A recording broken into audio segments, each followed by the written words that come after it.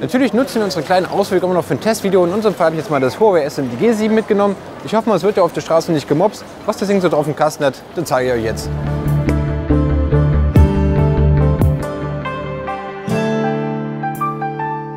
Erstmal finde ich es schön, dass Huawei endlich seine eigene Designlinie gefunden hat. Also von einem Klon kann man hier wirklich nicht mehr sprechen. Es ist vielleicht irgendwo an gewissen Trends angelehnt, aber auf jeden Fall kein Klon mehr. Ansonsten haben wir ein 5,5 Zoll großes Display, also schon recht großes Gerät. Dafür ist es mit 7,6 mm noch recht dünn und auch mit 165 Gramm noch recht leicht. Wir haben hier ein Unibody aus Metall, in dem Fall wahrscheinlich Aluminium. Auf der Rückseite noch zwei Kunststoffeinlagen für die Antennen. Das ist ja meistens irgendwie untergebracht. Sonst hier noch Kamera mit Blitz. Vorne haben wir nur eine Frontkamera und ja, das war es an dieser Stelle auch schon, weil die Rückseite ist natürlich nicht abnehmbar. An der rechten Seite haben wir die Buttons, Lautstärke, Power sowie zwei Einschübe für eben die Micro-SIM und die Micro-SD-Karte und einen USB-Anschluss und oben Kopfhöreranschluss. Insgesamt muss ich sagen, es fühlt sich wirklich extrem hochwertig an, gerade für ein Huawei-Gerät. Wir hatten ja früher auch so ein bisschen den China-Ruf-Effekt, billige Geräte zu produzieren. Ich finde es wirklich schön. Einziges Mango ist für mich eben so eine etwas scharfe Kante hier hinten. Das liegt nicht so schön in der Hand. Und wir haben auch teilweise etwas größere Spaltmaße, die nicht ganz gleichmäßig verarbeitet sind. Aber darüber kann man wegschauen. Als kleines Extra gibt es gleich noch eine Hülle mitgeliefert, aus, äh, ich würde sagen, Kunststoff einfach. Die schmickt sich ganz gut an, macht das Telefon nicht unnötig dick und schützt es dabei eben gleich noch. Wie gesagt, wir haben ein 5,5 Zoll großes Display mit einer Auflösung von 1280 x 720 Pixeln. Hat die Auflösung mag für die Größe ein bisschen geringer erscheinen, sind auch nur 267 ppi. Aber ich muss sagen, das gleicht man wiederum mit einem sehr guten IPS-Display wieder aus. Die Farben sind wunderbar, die Kontraste auch. Auch die Helligkeit reicht eigentlich hier für den Sonnenschein wunderbar aus. Kann er nicht wirklich meckern. Das Einzige, wo man es natürlich sieht, ist äh, Schriften meistens, sowie sehr kleine Logos, wie zum Beispiel klassisch eben auf dem Homescreen, so einem Ordner. Da wird es dann ja, ein bisschen, eben diesen, dieser Stufeneffekt wird dann sichtbar. Aber ansonsten muss ich sagen, es sieht sehr gut aus. Gorilla Glas haben wir hier in dem Fall nicht, aber ich würde glatt tippen, dass man irgendein anderes geartetes Glas einsetzt, da es sich eben schon ganz gut anfühlt. Auf der Rückseite des SNG 7 haben wir eine 13 Megapixel Kamera mit Blitz. Vorne sind es auch 5 Megapixel.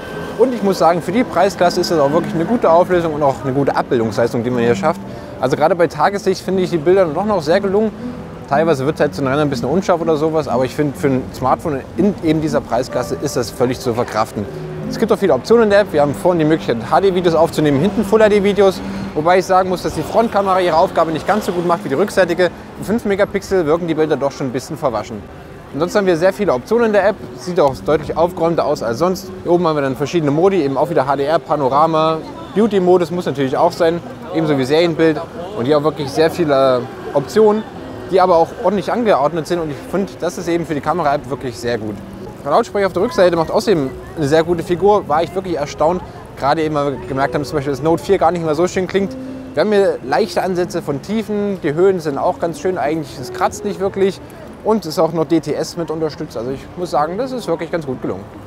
Auf unserem Gerät hier läuft Android 4.4.4 KitKat mit der hauseigenen Emotion UI 3.0. Ich denke mal, ein Lollipop-Update wird auch noch kommen, aber dazu gibt es noch nichts Offizielles. Und ich muss sagen, die UI gefällt mir wirklich besser als die alten Versionen. Sieht einfach sehr modern und frisch aus, vor allem auch sehr hell, sehr aufgeschlossen. Insofern läuft sie auch dazu noch sehr performant, also gibt es eigentlich keinen Grund zu meckern.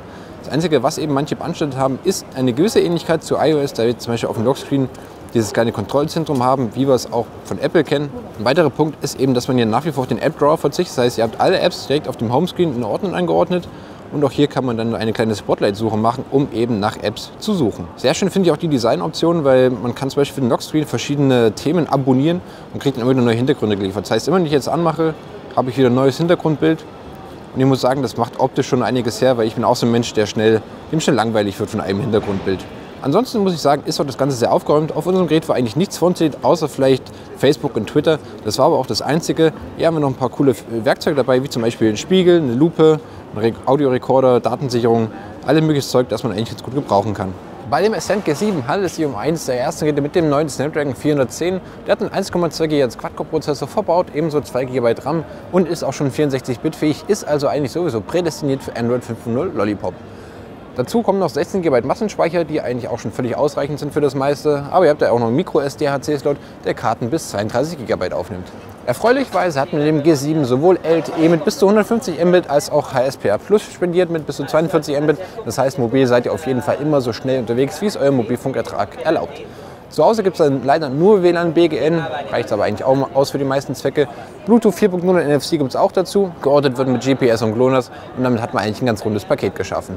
Der Akku hat 3000 mAh Das ist bei dem großen Display vielleicht okay, aber eben gerade weil es nur HD-Auflösung ist, denke ich mal, hält das eine ganze Weile. Bei uns sind wir eigentlich locker über den ganzen Tag gekommen. Das finde ich okay für so ein Gerät. Und dann kommen wir auch schon zum Fazit. Gerade mal 250 Euro werden aktuell für das Huawei S10 G7 fällig. Ich muss sagen, für die gebotene Hardware ist das wirklich ein echtes Schnäppchen. Die einzige wirkliche Konkurrenz kommt aus dem eigenen Haus, hört auf den Namen Honor 4X, bietet eigentlich quasi das gleiche, ist aber aus Plastik und damit noch ein kleines Stück günstiger. Mit 5 Zoll haben wir dann schon ein bisschen mehr Konkurrenz im Angebot. Der wäre zum Beispiel einerseits das BQ Aquarius E5 Full HD aus Spanien oder auch das neue Vico Rich, das wir jetzt erst auf der Messe gesehen haben. Oder zu guter Letzt auch das Huawei S&P 7. Das ist schon ein bisschen älter, hat aber auch wirklich deutlich mehr Leistung als der Snapdragon 410 hier im Inneren. Insgesamt muss ich damit sagen, es ist wirklich ein schickes Paket. Wer Wert auf ein großes Display legt und auch für hochwertige Materialien, der macht damit wirklich nicht viel falsch. Bis auf die geringe Auflösung finde ich auch wirklich nicht viel zu meckern. Insofern bin ich irgendwo doch schon rund und zufrieden mit dem Gerät hier. So, liebe Leute, jetzt seid ihr gefragt. Lasst uns wissen, 5,5 Zoll, viel zu groß oder genau richtig? Ich bin ein bisschen selbst unentschlossen. Einerseits lässt sich es doch sehr einfach bedienen, aber es ist halt wirklich zu groß, gerade eben für eine Einhandbedienung. Deswegen gebt euren Senf dazu, auch falls euch das Video oder überhaupt das Produkt gefallen hat. Daumen nach oben, schadet auch nie. Insofern sind wir für heute fertig. Ihr seht uns beim nächsten Mal. Und nochmal die letzten Videos. Hier haben wir das Vico Highway Science und hier noch das Nokia Lumia 830 oder Microsoft Lumia, wie ihr wollt. Wir sind für heute fertig. Macht's gut.